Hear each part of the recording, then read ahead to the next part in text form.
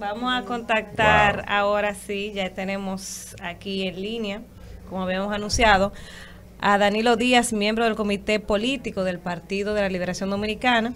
Y con él vamos a hablar eh, sobre la Junta Central Electoral que ha concluido la mesa del diálogo sobre la reforma de ley de partidos.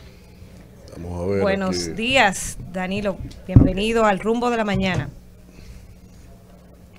Aló, No se escucha. don Danilo, buenos días. Ahí le escuchamos perfectamente. Gracias por estar con nosotros en el rumbo de la mañana. sus órdenes, sus órdenes. Bueno, vamos a, vamos a Gracias, gracias. Vamos a hablar eh, de la mesa del diálogo sobre la reforma de la ley de partidos que llegó a su conclusión. Si usted nos pudiera dar una, una breve perspectiva de cuáles fueron las conclusiones en, en torno a esta mesa de, de diálogo que tenía meses ya trabajándose junto a la Junta Central Electoral. Bueno, el día de ayer se, se avanzó, ya se había hecho con la ley de régimen electoral, la 1519, y en el día de ayer se completó el proceso con la ley 15, eh, perdón, la ley de- 3318. eh, 3318 Mm. de partidos políticos, de agrupaciones y movimientos.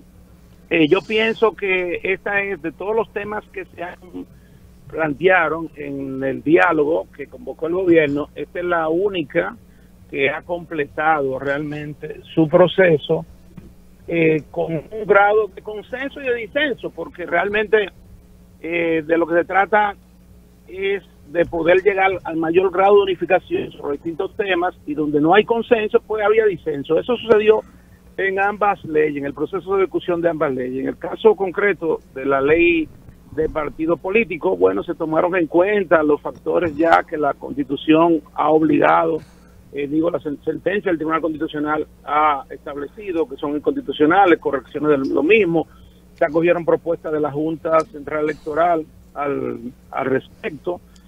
Eh, nosotros, lo que, lo que respecta a la parte del, eh, del transfugismo específicamente, eh, bueno, hicimos hincapié en, todo lo que tiene que ver con eh, justamente garantizar que los partidos políticos estén, eh, eh, le- haya garantía de que sus eh, aspirantes a candidaturas no, no suceda lo que ocurrió en el proceso, en el proceso electoral del 2020, tanto en, la, en las primarias eh, como luego se vio también en las elecciones, donde miembros de partidos eh, que habían participado en procesos internos se les permitió ser candidato eh, por otro partido político en un mismo proceso electoral.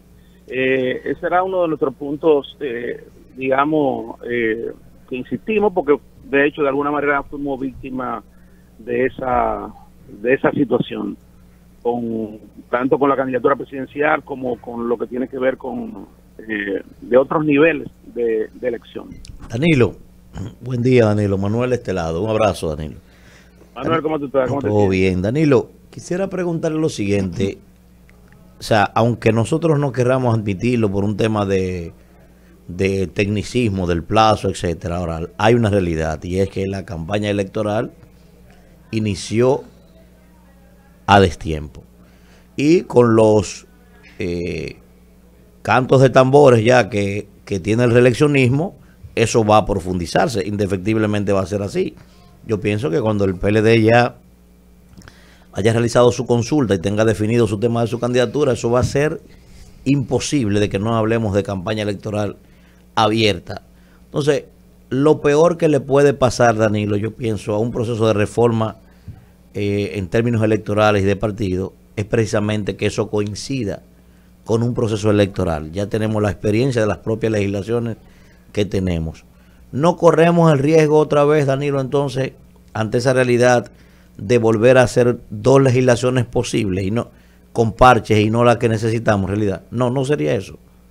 O sea, te refieres a- a- al riesgo, porque me está entrando una llamada y no, no pude escuchar.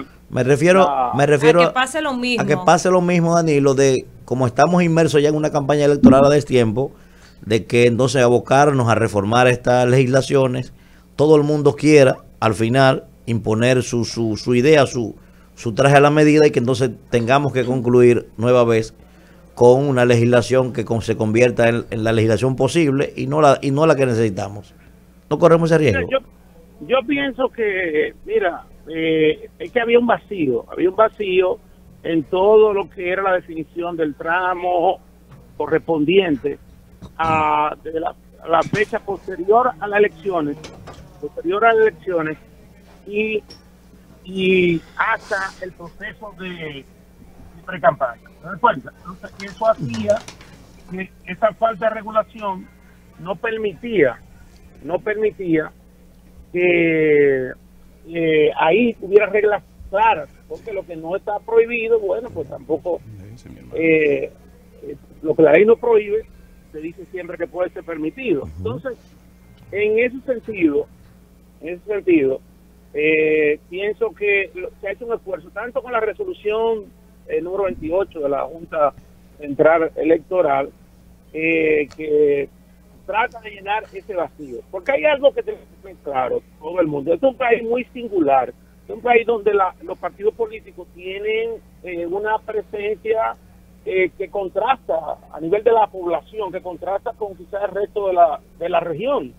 O sea, eh, es un país muy politizado. Entonces los partidos políticos tienen derecho, porque así lo establece la ley de partidos políticos, a tomar toda iniciativa que tenga que ver con su crecimiento, el crecimiento, con lo que tiene que ver con iniciativas que fortalezcan el, el proceso electoral eh, y, y, y que sin que riña con la ley. ¿Qué cosas no podemos hacer los partidos políticos? Bueno, podemos poner vallas, murales, espacios pagados, o sea, cosas de esa naturaleza, ¿te das cuenta? Sí. que están, que, que están, que están impedidas. Eh, pero lo que tiene que ver el esfuerzo, por ejemplo, el proceso de juramentación que estamos haciendo, eso no es campaña. Estamos fortaleciendo el partido porque nos- como organización esa es nuestra razón de ser, justamente. Sí, Danilo, Danilo, pero hay, hay ahí una objeción de mi parte, y la he señalado.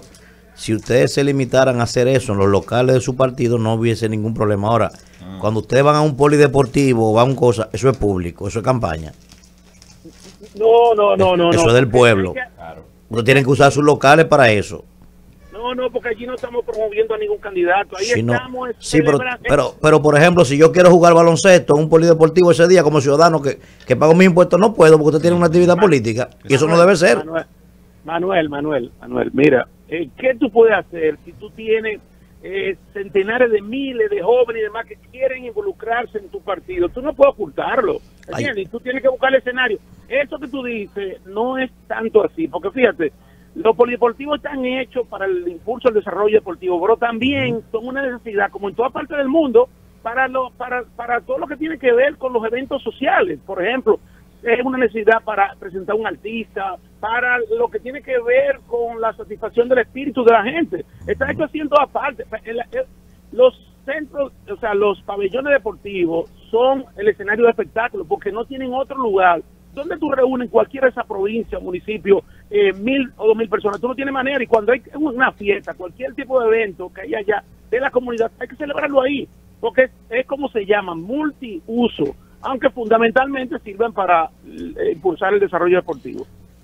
Bueno, interesante. Entonces, a Danilo está concebida su renuncia. Pero que ya te dijeron que él tiene. Da- él, Danilo. él- él tomó una licencia. Ah, no fue una deje su Él tomó- él veneno. tomó- él tomó una licencia. Renuncia no, renuncia No, no. Que quede claro a Tommy que es momentáneo.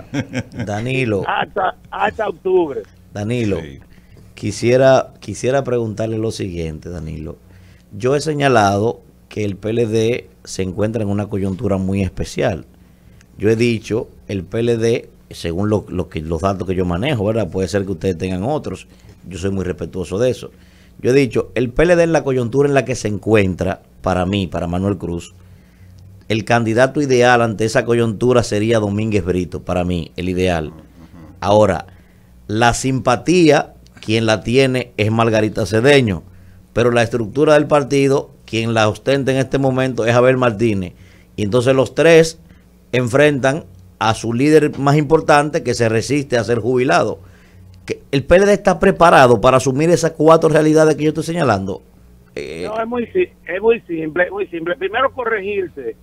Eh, a- allá mismo en una de las emisoras hermanas del grupo, en el día de ayer me parece, se presentó una encuesta que se hizo eh, a nivel interno con los miembros del partido político, que pudimos escuchar, y la situación no es como tú refieres. Acuérdese, que yo trabajo eso, Danilo, no se lo olvide yo. Sí, no, no, no, pero yo estoy diciendo Ok. que fue una encuesta que se hizo con los miembros del partido, Ok. 1500 entrevistas. Decían, y, y lo que da la realidad es que ciertamente la ventaja de nuestra candidata Margarita Cedeño es inferior a la que se da en el global de la sociedad, que duplica al que le sigue más próximo. Pero en el caso internamente, el que más próximo está, está a más de 11 puntos. Porque tú sabes lo que pasa. La sociedad presiona, la sociedad sabe lo que quiere. Y en el caso de Margarita, que cumple con las dos condiciones que se necesita para poder ser un candidato, para vencer a Leonel Fernández y a Luis Abinader, es que lo conozcan, ¿de acuerdo? Y la otra, una alta valoración. Y esas dos, la única que aspira a la presidencia, que, o de lo que aspira a la presidencia, la única que la cumple es doña Margarita Cedeño, nuestra próxima candidata y presidenta de la República. Bueno, pues Un vamos. abrazo a todos. Un abrazo. Un abrazo. Agradecer a Danilo. Danilo Díaz, miembro del Comité Político del PLD. Gracias por Lo regalarnos quiero. esos minutos. Gracias. gracias. Un abrazo. Siempre.